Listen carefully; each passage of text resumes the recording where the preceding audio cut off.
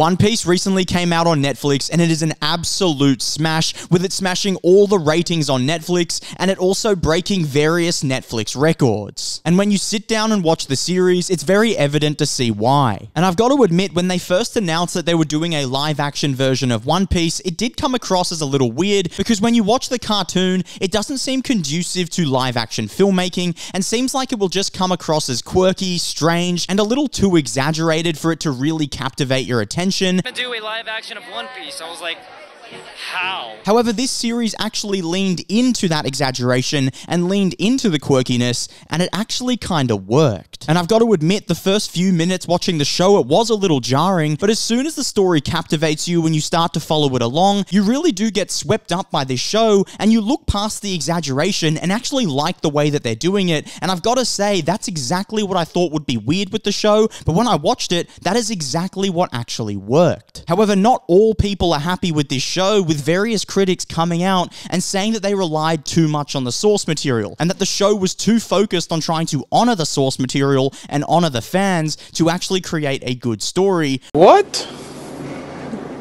Bro, what are you talking about, man?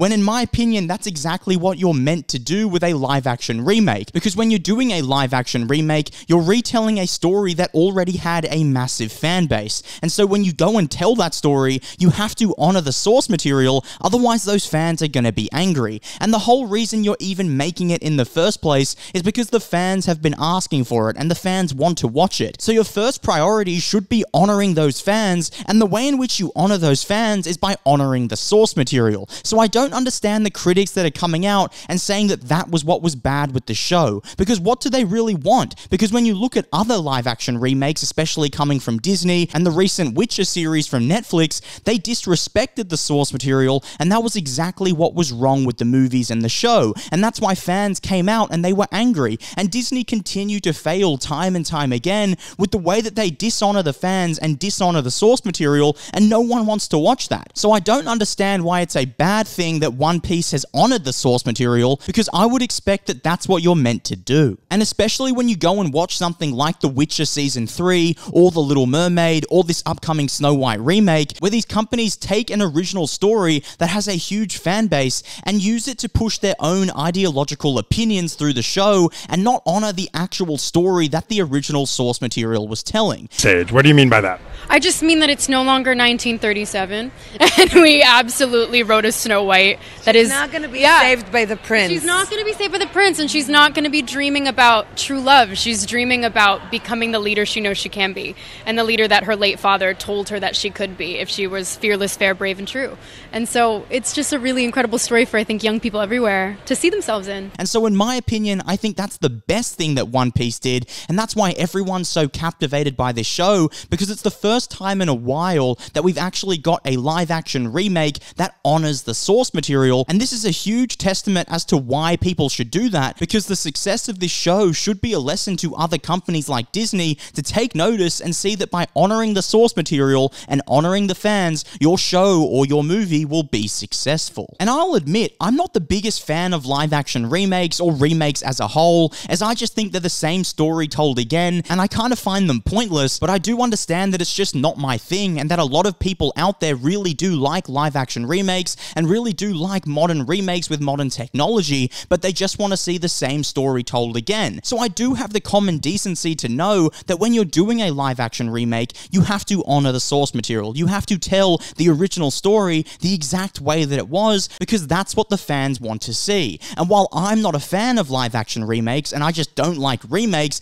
I do understand that the people that are interested, and there are millions of people out there and there's definitely a market for it, deserve to see the show honoring the source material and deserve to see the story the exact way they remember it on screen. But honestly, with One Piece, it is just refreshing to see something put audience first, because it seems like nowadays so many stories and so many movies put themselves above the audience and act like they're going to teach the audience something, or that the audience needs to learn from their film, or that they know more than the audience and they're better than the audience. Whereas this doesn't come across as that arrogant, this comes across as them just wanting to do right by the fans, and the interviews with the cast and the crew definitely reinforce this as well.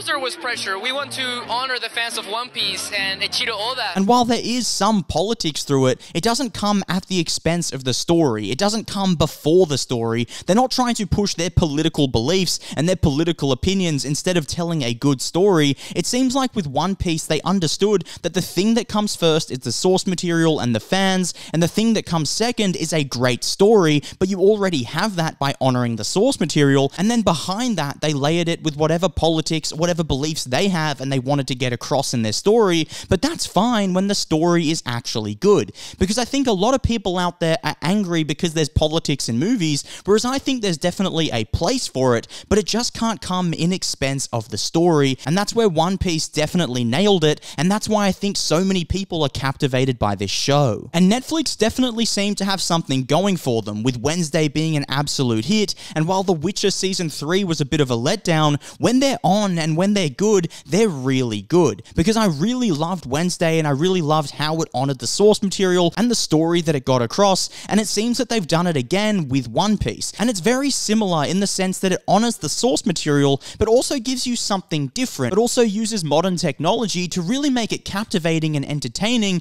and something fresh, even though you've already seen the story before. And so I really love that about the way that Netflix is going about their live action remakes. And while there was that hiccup with The Witcher, while they didn't honor the source material with The Witcher, when you look at One Piece and you look at something like Wednesday, when they do honor it, they really hit it out the ballpark and they really seem to know what they're doing when it comes to these remakes and these series. And when you compare it to other companies like Disney, I'm definitely a lot more optimistic for Netflix moving forward than I am for Disney because Netflix seem to learn from their mistakes and they seem to learn from their failures, take it on board, and actually implement it in their next shows. And that's why Netflix is constantly improving, and that's why when their series work, they work really well. Whereas at Disney, it's like they get told what to do and they get told where they're going wrong, but then they double down on their mistakes. Is that the cartoon was made 85 years ago, and therefore it's extremely dated when it comes to the ideas of women being in roles of power. Uh, it's really not about the love story at all, which is really, really wonderful. And whether or not she finds love along the way is anybody's guess until 2024. Whereas Netflix definitely seem to be learning from them. However, I hope they don't see the success from One Piece and double down on anime live action remakes, because that is something that a lot of these studios tend to do, where they see one thing works and then they try and capture lightning in a bottle over and over again. And of course, that just never pans out, that just never actually works, and that's not the fans want to see. So I hope they do leave it at One Piece because this was a great series. And while I'm sure they'll do a season two, I don't know if they should double down on a whole bunch of anime remakes because that could lead to a bigger mistake for Netflix, following in the footsteps of other companies like Disney and Warner Brothers. But what are your thoughts on One Piece? Let me know down below in the comments. If you like the video, please hit the like button, hit the subscribe button, and I'll see you all on my next video.